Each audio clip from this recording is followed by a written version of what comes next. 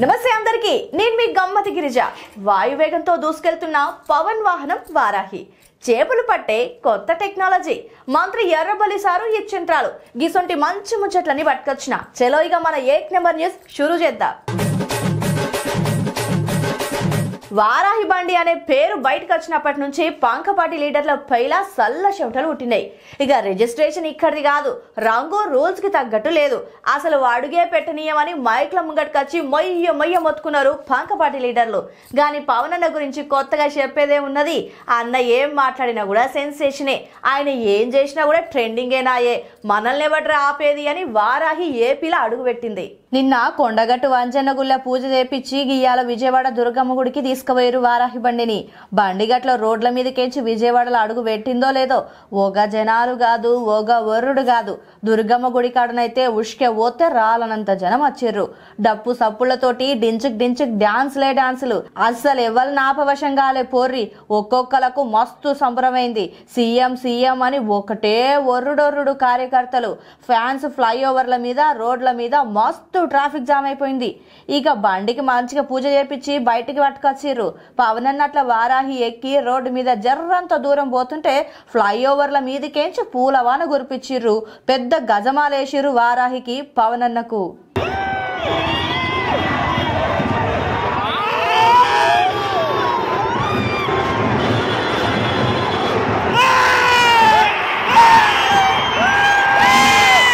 ఆ టెన్కల వారాహి ఎక్కి powerful speech కూడా ఇచ్చిండు పవన్ అన్న ఏపీలో అడుగు పెట్టనీయమని చెప్పిన లీడర్లందరూ పారేషాన్ అయ్యేటట్టు ఏపీలో పూజ చేపించి మరి ఫాస్ట్ స్పీచ్ ఇచ్చిండు. రాక్షస పాలన నుంచి ఏపీ రాష్ట్రాన్ని ఇడిపించుడే మన వారాహి లక్ష్యమని అన్నాడు. ఇక పవన్ అన్నకు ఎంత ఫ్యాన్ ఫాలోయింగ్ ఉన్నదో అన్న వారాహి బండికి కూడా గంత ఫాలోయింగ్ పెరిగింది. పవన్ అన్నను ఎప్పుడెప్పుడు చూడాలి అని ఎదురు చూసినట్టే వారాహి బండిని కూడా చూసేందుకు మస్తు మంది ఎగబడుతున్నారు. ఇక మరి ఇప్పుడేడ పెట్టుకుంటారో పాంకపాటి లీడర్లు వాళ్ళ మొఖాల్ని. అసలు నిద్ర పడుతుందో లేదో పాపం వాళ్ళకి అని కారెడ్డ మడుతున్నారు జన సైనికులు. పొలాల్లో నాట్లేసే కాయకిలోలు కానితే కారాపి దిగి గాలతోటి కలిసి నాట్లెత్తాడు. ఎవలన్నా చిన్న పిల్లగాలు క్రికెట్ ఆడుతుంటే పోయి గాలతోటి జర్రంత సేపు షెండాటాడి సంబరపడతాడు ఇక బతుకమ్మ ఆడుడు ముగ్గులేసుడు బోనం ఎత్తుకునుడు అబ్బో గిట్ల చెప్పుకుంటా పోతే బొచ్చెడున్నాయి.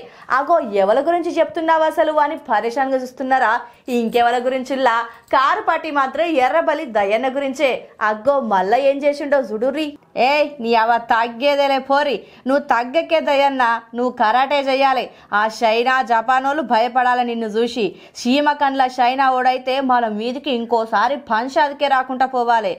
అసలు మనతోటి జవడం పెట్టుకుందాం అనుకునే ఆలోచనే చేయొద్దు ఇక పాకిస్తాన్ అయితే మన దిక్కు మర్రి కూడా చూడొద్దు. నీ కరాటే తోటి వాళ్ళకు కండ్లకెంచి రకతాలు రావాలి. హా అన్న మాకు మా దయన్న ఉన్నాడని యాది మరిచినట్టున్నారు ఆ చైనా పాకిస్తాన్ వాళ్ళు ఏ యా కియా ఊ ఉఫ్.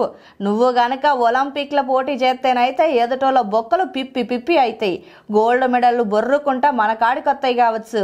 కానీ సారు ఈ వయసునే గింత కరాటే చేసిందంటే ఇంకా పట్సు పిల్లగాని లెక్కున్నప్పుడు ఇంకెంత కరాటే చేసేటోడు?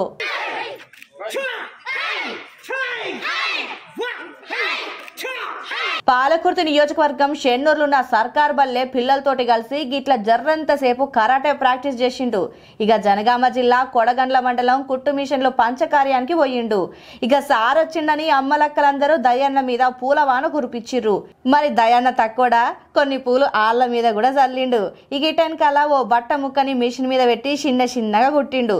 ముసి ముసి నవ్వులు నవ్వుకుంటా రైక ముక్కను కుట్టిండు. మరి దయన్నతోటి మామూలుగా ఉండదు షెర్ల చేపలు పట్టాలంటే ఏం చేస్తారు అందరూ? గాలానికి ఎరబెట్టి ఓ బద్దకి దారం కట్టి మెల్లగా ఇడుస్తారు. ఆ ఎరను తినేతందుకొచ్చిన చేప లటక్కున అందుకునే వరకు ఆ ఎరంకు పోటున్న ఉక్కుతోటి చిక్కుకుపోతుంది చేప అట్లా రెండు గంటలకో మూడు గంటలకో ఒకటి వాడు కూడా కట్టమే. కానీ గీ అన్నజుడురి ఎసొంటి చేపలు పట్టే మిషన్ తయారు చేసిండో? పెద్ద పెద్ద చదువులు చదువుకున్న వాళ్ళంతా మేధావులు కాదు. చదువులేనోళ్ళు దద్దులు కాదు. దానికి బెస్ట్ ఎగ్జాంపుల్ శేఖర్ అనే గీన జయశంకర్ భూపాలపల్లి జిల్లా మహాముత్తారం మండలం కొర్లకుంట అనే ఊరు. చిన్నప్పటి సంధి అన్నీ ఇప్పుడు బిగించుడు అలవాటు. ఎలక్ట్రిక్ సామాన్లతోటి కబడ్డీ ఆడుకుంటాడు. గట్లనే టీవీ మెకానిక్ కూడా. ఇక వాళ్ళ ఊళ్ళే షాపలు పట్టే అన్నలు షాపలు పట్టేతందుకు మస్తు తిప్పలు పడుతుర్రు పాపం. గాళ్ళ తిప్పలు చూసి గీ మిషన్ కనిపెట్టిండు. ఎట్లా పని చేస్తుందో చూపిస్తున్నాడు సుడురి.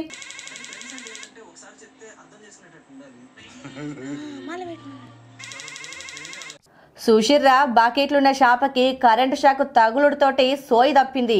ఎంబట్నే గా షాపను అందుకొని తీసుకోవచ్చు. ఎట్లా అనంటే మందు కొట్టే డబ్బాకి ఓ బ్యాటరీ పెట్టిండు.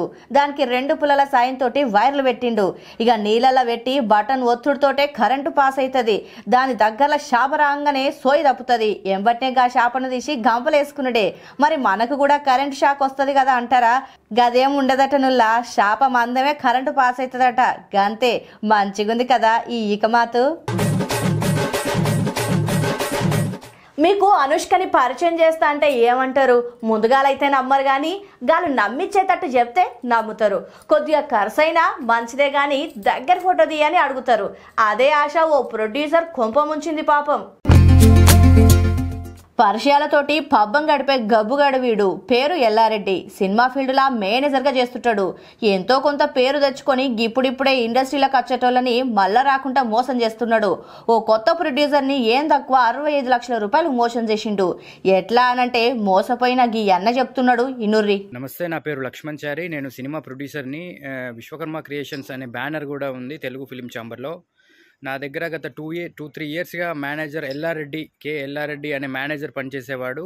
నాకు లేనిపోని మాటలు అంటే అనుష్క శెట్టి డేట్స్ ఇప్పిస్తాను అనుష్కతో మనం సినిమా చేసుకోవచ్చు అని అబద్ధాలు చెప్పి బెంగళూరు తీసుకెళ్ళి అక్కడ ఒక three four members four twenty batch వాళ్ళకి సంబంధించిన బ్యాచ్ ఫ్రెండ్స్ని ఇంట్రడ్యూస్ చేసి సో అంటే ప్రీ ప్లానెడ్గా నా దగ్గర నుంచి ట్వంటీ సిక్స్ ల్యాక్స్ తీసుకున్నాడు. అదే కాక మళ్ళీ నేను మ్యూజిక్ డైరెక్టర్ మణిశర్మ గారి డేట్స్ ఇప్పిస్తాను కెమెరామెన్ వెల్ అందరూ so called pairs and names అన్ని చెప్పేసి సో నా దగ్గర నుంచి చాలా అమౌంట్ టోటల్గా ఫిఫ్టీ వన్ ల్యాక్స్ రూపీస్ తీసుకున్నాడు. దీని దీని గురించి నేను ఫిల్మ్ ఛాంబర్లో కూడా కంప్లైంట్ చేయడం జరిగింది. అగానట ముచ్చట. ఈయన పేరు లక్ష్మణు. విశ్వకర్మ క్రియేషన్స్ అనే బ్యానర్ను ఓపెన్ చేసి పెద్ద పెద్ద హీరోలతోటి సినిమాలు తీద్దాం అనుకున్నాడు ఎట్లా అని పైసలు పట్టుకొని తిరగంగా గీ ఎల్లారెడ్డి కంట్ల పడ్డాడు. ఏ నీకెందుకు బ్రో? నాకున్న పరిచయాలతోటి పెద్ద పెద్ద ప్రొడ్యూసర్ల పక్కకు నిలబెడతా. నీకు హీరోయిన్ అనుష్కతోటి సినిమా డేట్లు కావాలన్నా ఆగు ఇప్పిస్తా అని బిల్డప్ ఇచ్చిండు. నడువు బెంగళూరులో ఉన్నదట అనుష్క అని రెండు మూడు సార్లు తీసుకుపోయి తాగుడు తినుడు చేసిండు. గట్లనే ఉన్న పైసలన్నీ తిన్నాడు. అప్పటికే అర్థం కాలే మోసపోయిన అన్నకి. మణిశర్మతోటి మీటింగ్ అంటే గట్ల కొన్ని లక్షలు ముట్ట చెప్పిండు పైసలన్నీ అయిపోయినాక ముచ్చటార్థమై ఫిలిం ఛాంబర్లా ఫిర్యాదు అయిందట వాళ్ళు పిలిపించి అడిగితే తప్పైంది నాదే పైసలన్నీ కడతా అని ఒప్పుకొని ఇప్పుడు కట్టకుండా కథలు పడుతుండట. మరి ఇంట్లో ఎంత నిజమో ఏందో అనేది పోలీసులే తెలుసాలే సుశీర్ కదా ఎట్లునే మన ఎయిట్ నెంబర్ వార్తలు? ఎగ్గిసంటే మంచి ముచ్చట్లతోటి మళ్ళా కలుగుతా